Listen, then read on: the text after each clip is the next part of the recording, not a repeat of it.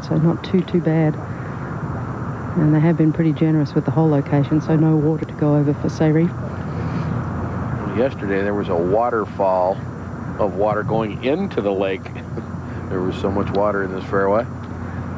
This looks like a seven iron to me, Roger.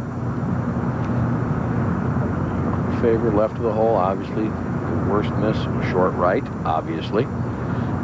Shape something in there a little bit left to right, the lie helps you a little bit. Ball slightly below the feet. Should help her move it that way if she chooses.